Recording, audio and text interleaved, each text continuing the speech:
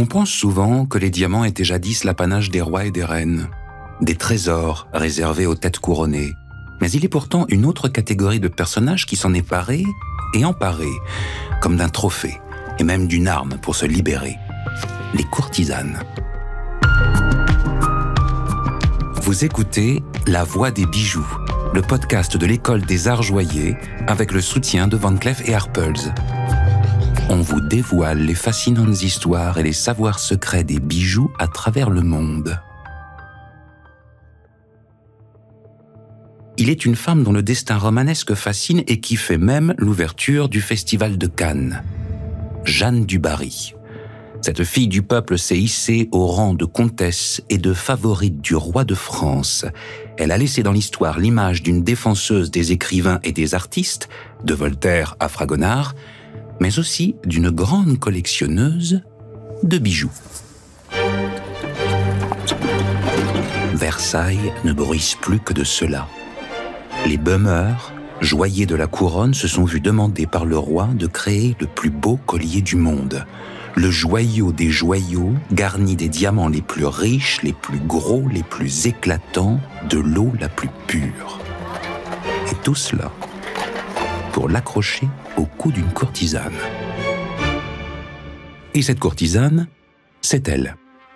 Intriguée, elle n'a pas pu s'empêcher de se renseigner, d'envoyer des espions à Paris, place Louis le Grand, jusqu'à l'atelier des deux bijoutiers pour avoir des détails, savoir à quoi ce grand collier de brillant, comme on l'appelle, va ressembler.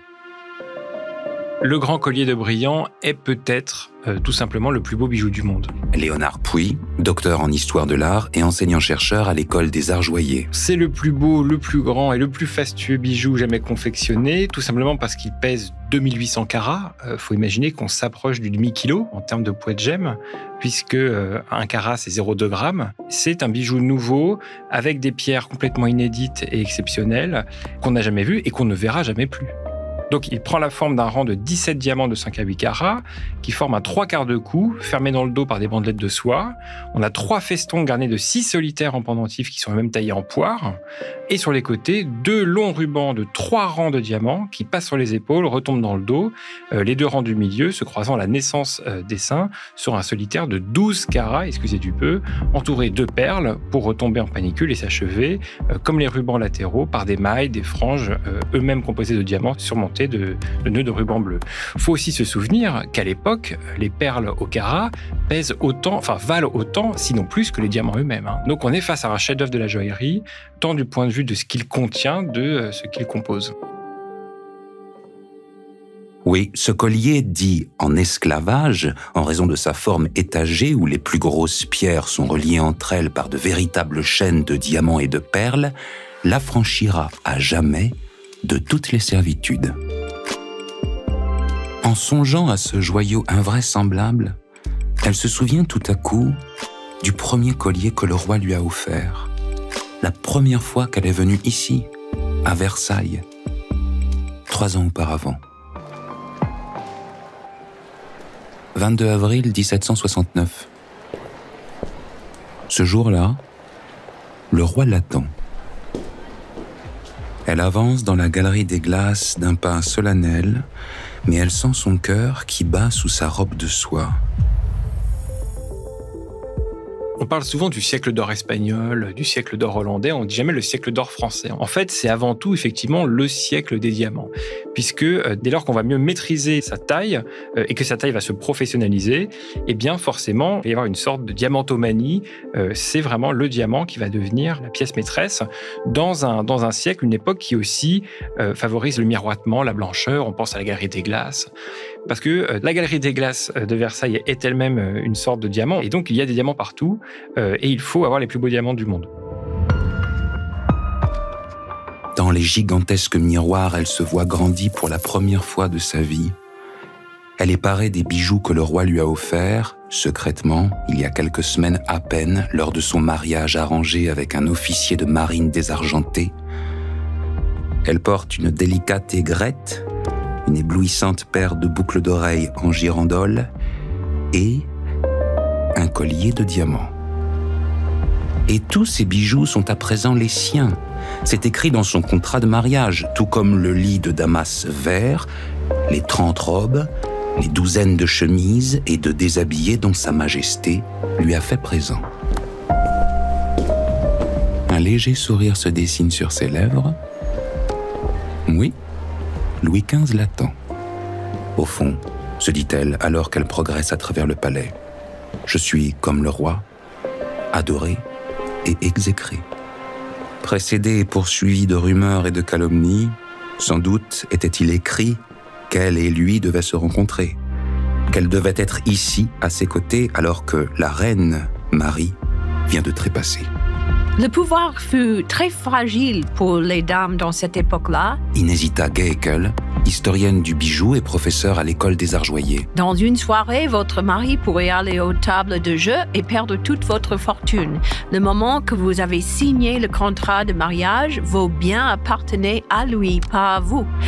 Donc, les favorites, qui sont venues presque toutes sans rien à la cour, qui ont obtenu ce qu'ils ont obtenu comme Jeanne du Barry, pour elles, les diamants, les bijoux furent leurs biens. Il faut se souvenir que c'était un milieu agité. Quand on dit agité, les fortunes se font et se défendent comme cela dans un jour. Versailles était vraiment un océan de dangers, plein de turbulences. Et avoir ces biens qui brillaient, c'était le meilleur, n'est-ce pas? Le palais semble étrangement dépeuplé. Le parfum de scandale entourant la présentation officielle de Jeanne en tant que comtesse, étape obligée pour être admise à Versailles, a fait fuir les femmes issues de la vieille aristocratie. À l'exception notable de la comtesse de Béarn, qui la chaperonne en échange de l'effacement de ses dettes. Les autres ne voient en elle qu'une putain royale, comme avant elle la Pompadour, car tous ceux qui la regardent savent de qui viennent les diamants qui brillent à son cou. Mais Jeanne n'en a cure. Ce collier dit qu'elle n'est pas un caprice. Il est un signe fort de l'engagement du roi à son égard. Jeanne n'est pas qu'une favorite. Elle est différente. Elle en est sûre. Elle n'est pas une nouvelle Madame de Pompadour. Elle, Jeanne Bécu, fille illégitime, échappée du couvent, prostituée, elle est la comtesse du Barry. En fait, la relation entre les courtisanes, les favorites et les diamants va commencer quasiment aussitôt qu'il y aura des diamants sur le royaume de France.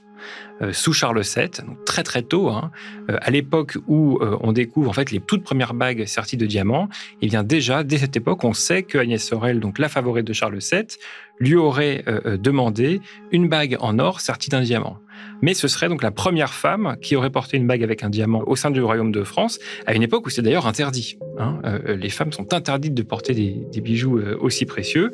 Toujours est-il que, en tant que courtisane, en tant que favorite, elle est, pour ainsi dire, la principale influenceuse de l'époque, et c'est vraiment euh, à partir d'elle que va rayonner, va commencer à se diffuser cette mode de la bague avec diamant.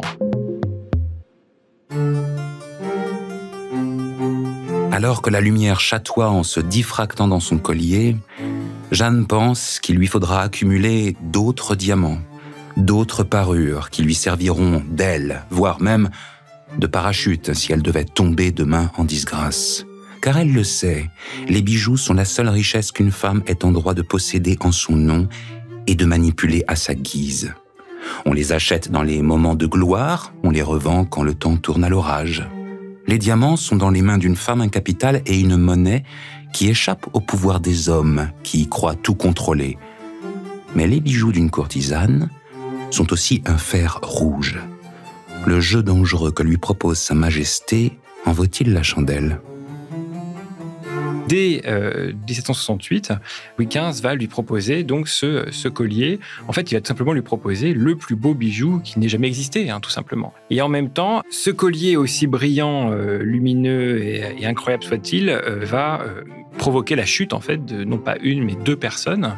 la première, c'est évidemment la du Barry, Louis XV qui pensait euh, honorer, euh, honorer sa maîtresse de la plus belle des façons, finalement qui va mourir avant que le, collier ne puisse être réalisé et surtout euh, payé. Dès lors, le collier va être proposé à la vente à Marie-Antoinette qui n'en voudra pas.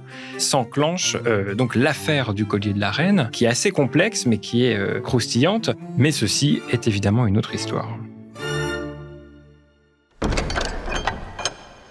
La voici dans le salon du conseil. Il est trop tard pour reculer. Un murmure de médisance l'accueille. Jeanne se moque des médisants. Elle n'est pas une fille de la noblesse, c'est vrai. Rien ne lui a été donné à la naissance. Tout ce qu'elle a, elle a dû le prendre, comme ce mari qui lui sert de paravent pour entrer à la cour, comme ce premier collier de diamants qui est son sésame. Oui, tout ce qu'elle possède, elle l'a pris. Cette histoire de Jeanne de Barry et ses diamants n'a cependant pas une fin heureuse. Ils ont certes incarné sa beauté, sa puissance, son goût. La comtesse Jeanne du Barry était en effet une amoureuse, grande protectrice des arts et des artistes. Et pour elle, ces diamants s'inscrivent aussi dans cette démarche. Les bijoux sublimes et précieux que Madame Dubarry a tellement aimés vont finalement causer sa perte. Leur vol pendant la Révolution va en effet pousser Jeanne à les chercher partout à grand renfort de publicité. C'est ironique parce que si elle n'avait pas fait cela, il se peut qu'on ne saurait pas qu'elle avait 140 gros diamants 700 brillants, 300 grosses perles et il faut savoir que le prix de perles, il n'y avait pas de prix de perles, ce sont des perles fines.